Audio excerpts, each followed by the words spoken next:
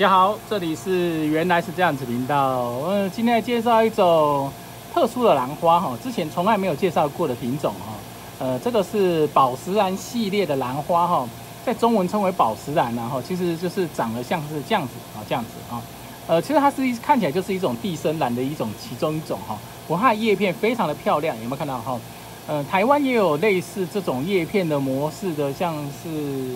像是一些地生兰哈。呃，像像是台湾有一些地生兰就长类似这种概念哈，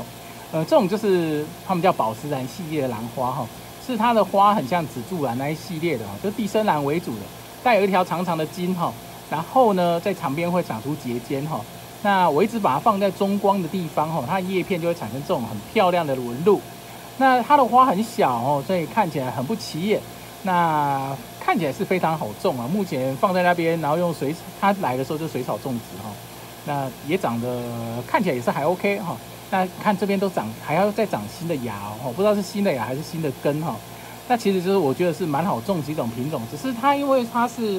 算是地生兰的地生兰的其中一种品系哈，真的是比较冷门一些些。不过它可以赏叶啊，它可以赏叶，这种应该是算赏叶型的兰花吧哈，因为它的花真的很不起眼哦，小小的但很不起眼。那宝石兰呢？其实，在嗯在台湾很少人玩哈，很少人玩。那之前有买几买一颗回来种种看哈。那看起来种了大概这个大概在我这边有半年之久哈。相对而言，它没有那么难种哦，所以我觉得看起来可以还还还可以给大家看一下，因为还没有死掉哈。因为来的时候其实呃开完花以后呢，长得就不是那么漂亮哈。那现在因为新叶来的哈，你看这个都新叶哈，看起来就还蛮有银色的感觉哈，就是还蛮漂亮的。你可以看我的手指就知道，它其实不是很大哈，呃，它大小不是很大，但它开起来的花呢更小，开起来花更小，它开起来花就很像紫柱兰哈。我们之前在呃公园我有介绍过紫柱兰那一类的东西哈，小小的哈，台湾的野生兰，小小的，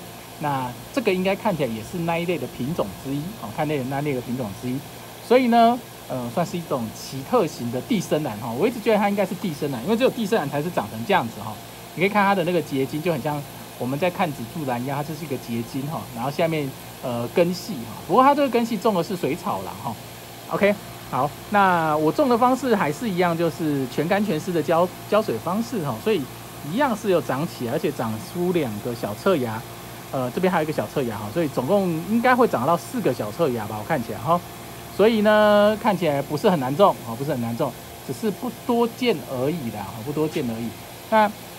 它的花会沿着这个茎的顶部开起来哈，那开完以后呢，这个茎的顶部就没有不会再开花了哈，所以它会再长，简单的说，它生长点就结束了。这时候它可能会长出小侧芽出来，然后再从上面开花哈。所以它的特点是开花是从顶部开哈，你可以看开花是从这个顶部啊，这个顶部非常的明显哈。那开完以后，这个这支个枝条就结束了哈，它可能就从旁边再长新的枝条出来，然后等到明年再开花哈。那开花季是我记得好像是秋冬吧，哦，那时候买还是有花的哈。那等到今年如果在开花的时候，带给大家看一下哈，算是一种比较少人玩的兰花之一啊，算是比较特别的兰花哈。看它叶子很漂亮哈，莹莹的，然后带有斑叶型的颜色哈。那这一类型的兰花真的比较少人玩一些些啊，比较算比较冷门型的品种哈。好，OK，那台湾到底叫什么？突然好像大五斑叶兰哈。然后有很多斑叶兰系列哈，那但是大五斑叶兰是高山的品种哦，平地平地种不太火了哈，呃，基本上就是看看就好，看看就好。那这个是国外的品种哈，相对而言蛮好种的，我觉得我放在低光的地方，跟那个国兰放在一起哈，跟蕙兰那一类的放在一起哈，那长得还不错啊，长得还不错。OK，我们现在见喽，拜拜。